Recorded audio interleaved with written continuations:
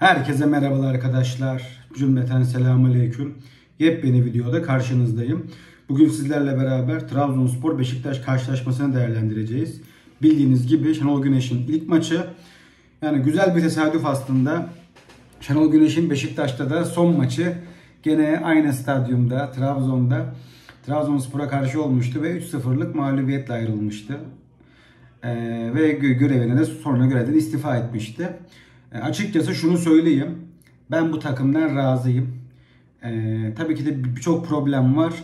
Ama takımın bana verdiği enerji, takımın verdiği bana mesaj açıkçası beni razı duruma getirdi. Şikayetlerim çok fazla, kağıdım dolup taşıyor. Buna rağmen bile bunu söylüyorum. Şunu da ekleyeyim. Sıcağı sıcağına da notlarım çok notum olmasına rağmen notlarımın %30'luk kısmına Draguş, Draguş, Draguş diye yazmışım. Ki Draguş değişikliği geldi. O değişikliği de şöyle yorumluyorum ben arkadaşlar. Şenol Güneş büyük hoca değişikliği yaptı. Draguş'u oyundan çıkararak. Draguş'la alakalı çok uyarım var. Draguş'un bir galaylanması lazım. Bizim yerel hat dilimiyle galaylanma denir ona. Ee, eğer bu böyle giderse Draguş takımda kalıcı malıcı olmaz. Ki zaten aslında e, ben bunun olabileceğini de sizlere defalarca söylemiştim. Şu uyumuzdan da vazgeçmemiz gerekiyor. Herhangi bir futbolcuyu aldığımızda olduğundan daha fazla görmek ve herhangi bir futbolcumuzun takımımıza katıldıktan sonraki performansını da olduğundan daha az görme huyumuzdan da vazgeçmemiz gerektiğini size söylemek isterim sevgili arkadaşlar. Videoya hızlı bir giriş yaptık. Sizin ben yorumlarınızı merak ediyorum. Burada videoyu durdurup ben yorumlarıma yapmadan yazarsanız sevinirim. Bakalım yorumlarımız çakışıyor mu? Aynı fikirde miyiz? E, o yorumlara ihtiyacım var. Benim için de farklı bir bakış açısı oluyor arkadaşlar. Ve ayrıca da arkadaşlar beğeni olursanız da çok sevinirim. Beğenileriniz, hype haklarınız, hype diye bir şey çıkmış. Benim için önemli ve aboneye de ihtiyacım var deyip reklam kısmını da bitiriyoruz. Yüklenelim. Draguş'tan bir başlayacağım hızlı hızlı. Draguş et misin? Balık mısın? Anlamadım bak. Zaten Caner ile zamanında uğraştık bu kadar. Tabii ki de daha ligin başındayız, sezonun başındayız. Tabii ki de kredim fazla var. Normal. Umutluyuz. Hala iyi bir transfer olduğunu düşünüyoruz. Hala seni destekliyoruz ama koşu yok. Rakibi zorlama yok. Direnç yok. Tehdit yok. Bak diğerleri olmayabilir ama koşu olayı. Koşu. Hele Okay'la bir pozisyon vesaire var. Olmaz. Yani bu olmuyor. Draguş benden büyük eksi aldı. Böylesine maçlarda yapacağın ya da yapamadığım performanslar büyük etki eder. Bak videonun başında daha 3. dakikasındayım. Yarısını sana ayırdıysam, Draguş ayırdıysam burada büyük bir problem var. Bunu arkadaşlar söyleyeyim. İlk 11 bu arada ilk 11'den bir şikayetim yok. Gayet normal. Ee, yani herkesin çıkaracağı da ilk 11 çıkarılmış. Ee, bundan benim için bir problem yok. Yani bu hocaya bağlı değil. Bence herkes aynı ilk 11 çıkarıldı. O yüzden ilk 11 hakkında çok konuşmak istemiyorum. Bak dördüncü dakikaya girdim. Hala kırmızı kartı konuşmuyorum. Yani, sosyal medyada çok okudum tabii ki de kırmızı kartla alakalı. Arkadaşlar ben Abdullah Hoca'yı beni spor dijital zamanlarında takip edenler bilir. Kaç kişi takip ediyor o zamandan beri tanıyan yazsın. Bilenler yazsın. Ben o zaman da hocadan şikayetçiydim. Daha hiç yani şampiyonluk mevzusu yok. Takım kötü halde Newton'dan sonra geldi. Abdullah Hoca hakkında diyordum ki Abdullah Hoca'nın çizilmiş bir hücum planı yok. Problem. Hatta takım iyi gittikten sonra da Bilal Ence program vardı. Bilal Ence bana özür diletmişti ee, şeyi Abdullah Hoca'dan. Biz de özür, özrümüzü dilemiştik Abdullah Hoca'dan. Çünkü takım performansı, puanları toplamıştı. Ama benim o zaman şikayet ettiğim konular vardı. Neye bağlamaya çalışıyorum? Şu an Abdullah Hoca ya karşı tepkilerden dolayı Abdullah Hoca'ya olan nefretten dolayı Vişça'nın kırmızı kartıyla alakalı çok art niyetli yorumlar gördüm. Hatta beni bilenler yine bilir. Ben Vişça transferini de iyi bir transfer olduğunu düşünmüyordum ve ben bu transfere karşı olduğumu da söylememe rağmen bunları söylüyorum. Ki bunları söyleme ihtiyacı duyuyorum ki beni yanlış anlamayın. Vişcan'ın pozisyonu tamamıyla futbol şanssızlığı. Bu pozisyona çok tepki gösterilmesinin sebebini yani benim haddim falan değil. Neyim ben sanki yani topçu muyum? Ama yani bu oluyor futbolda bu çok var. Bu yani birçok oyuncu böyle kırmızı kart gördü. Sahanın içinde belirli bir seviyeye kadar olan insanlar bunu bilir.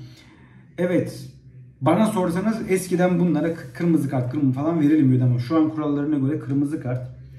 Ama bunlar çok oluyor. Amatörde kırmızı kart verilmiyor diye kırmızı kart olmadığını düşünmeyin. Tamamıyla şanssızlık. Vişça istemezdi. Ama bu takımın temel problemi zaten Vişça'nın ilk 11 çıkması. Bu takımda kanat yok kardeşim. Hocam Trezeguet'e Trezeguet ne ya? Hocam Trezeguet'e rahmet okumayacak mıyız? Trezeguet'i arıyoruz. Orsic'e de geçeceğim. Orsic bitmiş, bitik. Olmuyor yani. Bir şey görüyoruz ama yani Orsic toparlanması zaman alacak. Toparlanabilecek mi de soru işareti. Umudumuz oldu ama yani tabii 10 kişi kaldığımız için de bu kadar üst perdeden konuşmak çok doğru değil ama bir tarafım Vişça. Vişça'nın kırmızı kartı benim için problem değil. Futbol şanssızlığı. Ama bir tarafın ilk 11'inde bir tarafın Orsic bir, bir buçuk yıldır top oynamıyor. Bir yılı sakat. Diğer tarafın Vişça uzun zamandır fizik kaliteden düşmüş bir Vişça. Başakşehir'deki son dönemi de o kadar iyi değildi. Bu problem. Biz bunlardan çıkmayıp Trezeguet'den çıktık. Diyeceksin ki Özgür tamam Trezeguet, Trezeguet, Trezeguet başımızın etini yedin. Ama arıyorsun işte arıyorsun. Orası içinde sıkıntı. Gidemiyor. Kondisyon büyük problem. Abdullah Hoca'nın bıraktığı en büyük enkaz. Ee, bu takım ilk yarıya kadar ben bir şey beklemiyorum. Ligin sonunda biraz form tutabilirsek tutacağız. Ee, takım maçın sonunda çok düşüyor. Beşiktaş bizi kondisyon ve fizik fizik olarak çok ezemedi. Çünkü orta sahamızın Okay ve Mendy bizi tuttu. Mahrinho bizi tuttu. Ee, Eren fena değildi. Vasattı ama Eren Densil bölümünü çok işlediler. Ben orada ama suçu Eren Densil tarafını bayağı işlediler. Golü de o taraftan yedik ama ben oradaki suçu toplu olarak herkese buluyorum. Şundan dolayı yani Densil'e direkt fatura çıkartmayacağım. Sol tarafta tehdit yoktu. Orsic'ten başlatıyorum ben işte. Bizim sol tarafımızda Orsic'ten başlayan bir sıkıntı var. Yani tabii ki de yani Orsic'in birebir etkisi yok ama sol taraftan bizi çok işlediler. Hiç kimseye bireysel olarak suç bulamam. Ama sol tarafta tehdit olmadığı için Svensson çıkabildiği kadar çıktı. Orada bizi güzel işlediler. O tarafa çözüm bulunması gerekiyor. Oranın çözülmesi gerekiyor. Takımdan memnun olduğunu söyledim. Arkadaşlar Pedro iyiydi. Ee, değişikliklerde de hepsi iyiydi. Belki hoca Bardri sarı görmeseydi biraz daha tutabilirdi ama güvenemedi. Hakem yani biraz kartlarını kullanabileceğinden korktu. Onu da anlayabiliyorum. Ben Şenol Güneş'in değişikliklerini de yerinde buldum. Değişiklikler iyiydi. Ee, takım iyiydi. Banza'nın performansını beğendim. Ee, belki çok pozisyona giremedi. Ama olabildiğince savunmaya zorluk çıkarttı. Olabildiğince mücadele etti. Olabildiğince sırtı dönük top almaya çalıştı. Daha ceza sahasındaki meziyetlerini göre, görebileceğimiz bir an olmadı. Ama mücadeleciliğiyle bu ligde fark yaratabileceğini bize şu maçta da ikna etmiş oldu. O yüzden benim kafamda Banza ile alakalı bir problem kalmadı. Bize hayırlı olacaktır Banza. Ee, Allah razı olsun Banza'dan. Bunu diyebilirim. Ee, bizim or biz bu sene bir dünya transfer yaptık. Bir dünya transfer yapmamıza rağmen orta sahaya atacak adam bulamadık. Lundstrom ben bu kadar rezalet olmasını beklemiyordum. O kadar kötü ki demek Şenol Hoca en en en en en son değişiklik olarak düşündü. Biz 15 transfer falan yaptık.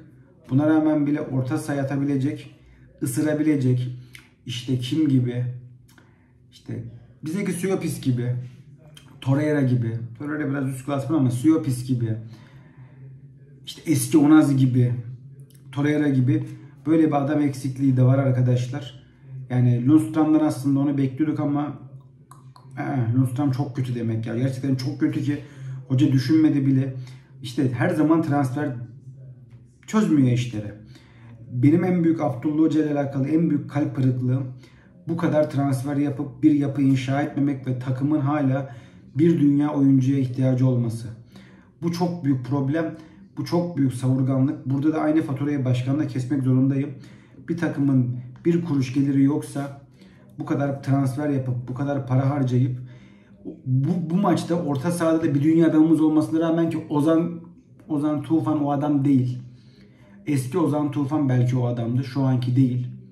Bunu aradık. İşte kadro mühendisliği nasıl yapılmazın karşılığı bu. 15 transfer yapıp kanat ihtiyacım var. Orta sahaya bir adam ihtiyacım var. Bu. Bu. 15 transfer yapıyorsun. Orta sahaya adam atamıyorsun. İki kanadın yok hadi ben bir kanat diyorum. İki transfere ihtiyacın oluyor. Yani garip bir şey mi söylüyorum? Hatalı mıyım? Hatalıysam söyleyin. Takım bitik. Onu tekrar söylüyorum. Defalarca not almışım. Takım bitik, bitik, bitik diye. Kondisyon anlamında. Bu arada Beşiktaş'ın hocasına tebrik ediyorum. Ee, kırmızı kart gördükten sonra takım iyi değişiklik yaptı. Yani iyi hamle yaptı. Sağ değişiklikten bahsediyorum. Joe Mario'yu biraz daha merkeze yaklaştırdı. Orada bizi bayağı zorladılar. Bir de sol tarafa fark edip orayı güzel işlediler. Beşiktaş'ın iyi bir hocası var. Ee, Valla bir takım başarılı olacaksa bu sene ben Beşiktaş'tan gönlüm yana. Çünkü başarılı bir yabancı hoca görmek istiyorum bu ligde. Onu da söyleyeyim. Ee, gerçekten tebrik ediyorum hocayı. İlk Galatasaray maçında da iyi hocalık gösterdi bu sene ligde. Yani ben Immobile ve Rafa Silva'da soru işaretlerim vardı. Vallahi Beşiktaş yedekleri çok iyi olmasa da fena takım kurmadı. Hocayı tebrik ediyorum Giovanni Bambros'tu. E, maçı iyi okuyor. E, güzel hamleler yapıyor. İyi bir hocası var. Valla biz biz şampiyon olamayacaksak Beşiktaş olsun. E, kaliteli, liyakatli, işi bilen, makul hocaların gelmesini her zaman destekliyorum. Yani zaten Beşiktaş'ın transferlerini yapan da eski kaleci Amerikalı Brad Friedel. Valla fena takım kurmamışlar. Onu söyleyeyim. Bizde en azından daha dengeli takımları var. Kadrom belki harcanan bonservisler çok fazla. İşte Muci 10 milyon euro. Valla 3 milyon eurodan fazla ederse ben bir şey bilmiyorum. Musrati 10 milyon. Tamam okey. Bana sorsan maksimum 7. Hadi şişirme. Arada avanta mavanta. Fena takım kurmadılar. Örnek olması gerektiğini düşünüyorum bizim takıma da. Bu maçta bir puan iyidir. Onu da ekleyeyim arkadaşlar. 10 kişi kalmamıza rağmen. Her ne kadar Beşiktaş yani biraz toplu oynama şeyi bizim 3 katımızdan daha fazlaydı. Pozisyona girdiler. Burada Uğurcan'a da bir parantez açmam gerekiyor. Uğurcan gayet iyi. Nazar değmesin. O kadar diyeyim. Herhalde geçen sene Uğurcan'ı yerden yere vuranlar bir Uğurcan'a özür borcu vardır. İşte size kampanya. Uğurcan'a özür borcunuzu ödemek istiyorsanız beğene butonuna basıyorsunuz. Her bir beğeni Uğurcan'dan özür, Özgürcan'a da beğeni olarak gidiyor. Allah Uğurcan bizi maçta tuttu. Onu söyleyeyim. Yani bugün maç şansı demeyeceğim. Çünkü Beşiktaş'ın öyle bariz pozisyonunda yoktu. Ama kaleci farkı bizi tuttu. Buradan da mil takım yetkililerine söylüyorum. Maçı izlediniz mi? Çok üzerine konuşmaya gerek yok. Evet Uğurcan mil takımda kova kabul ediyorum. Kovacan. Burada Uğurcan mil takımda Kovacan. Tamam kabul ediyorum. Kardeşim benim mil takımdaki performans çok ilgilendirmiyor. Ligin geneline bakarım. Kim daha iyi? Uğurcan. Sanki Mert ne yapıyor?